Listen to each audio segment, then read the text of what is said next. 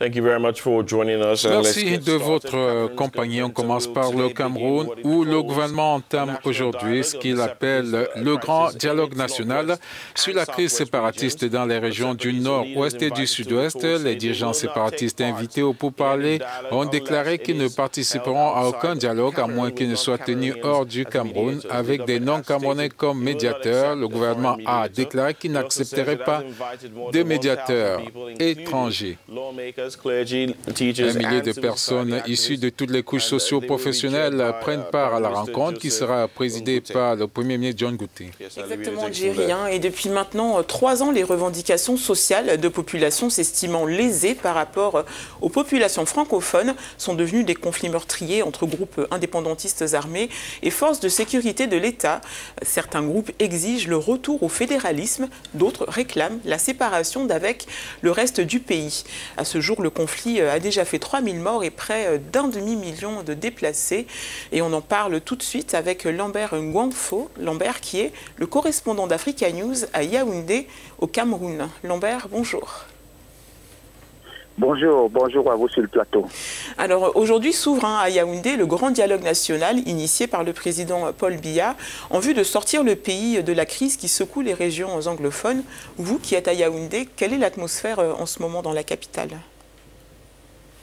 La ville de Yaoundé, qui abrite le Grand Dialogue National, est en pleine effervescence depuis hier dimanche, avec l'arrivée des délégations venues des quatre coins du pays. Le site qui abrite ces pourparlers a fait peau neuve. Le Premier ministre John Gouté, qui est d'ailleurs celui qui dirigera les travaux, est descendu sur le site du Palais des Congrès pour s'assurer qu'il n'y a pas de fausses notes. Ce lundi matin, les acteurs de la scène politique, de la société civile, ils sont nombreux qui arriveront au Palais des Congrès de Yaoundé pour participer au dialogue national en vue de la sortie de crise dans les régions anglophones.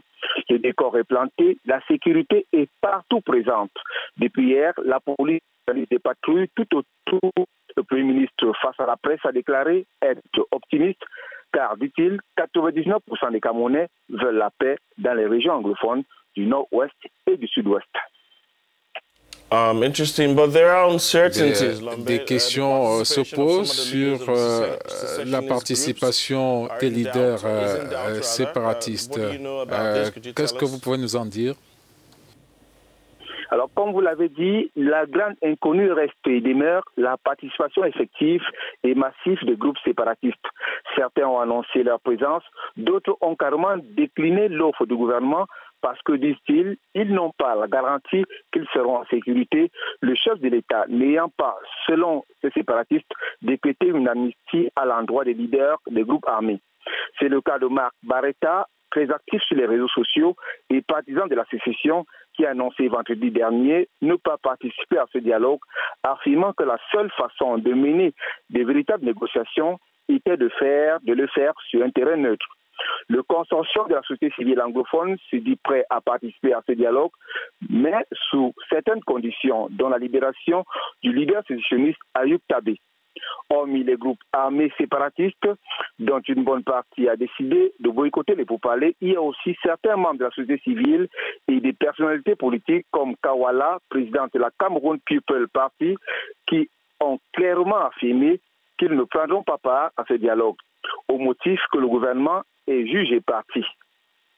Les responsables de la société civile et de l'opposition ont conditionné ces responsables des partis politiques et de l'opposition conditionner leur participation par une médiation indépendante. Alors, Lambert, peut-on avoir une idée des points qui seront débattus? Plusieurs points sont à l'ordre du jour et seront débattus dans huit commissions. Parmi les points les plus importants, la question de la décentralisation de l'État, le retour des réfugiés, des personnes déplacées et le développement des villes touchées par la crise anglophone. D'après les témoignages de et là, il ressort de nombreuses divergences selon que l'on soit du côté du pouvoir, de l'opposition, de la société civile ou des groupes armés. Le social-démocratique principal parti de l'opposition parlementaire s'insurge contre le fait que le gouvernement ait choisi tout seul les points qui seront débattus. Ses membres estiment qu'ils feront tout pour que les le débat sur la forme de l'État soit inscrit à l'ordre du jour. Il faut dire que certains Camerounais plaident pour le fédéralisme, d'autres pour la décentralisation, et le groupe armé réclame la sécession du, du pays. Les débats s'annoncent très tendus et selon les politologues, la réussite de ces pourparlers dépendra de la forte implication des groupes armés dans les débats pour une sortie de crise en zone anglophone.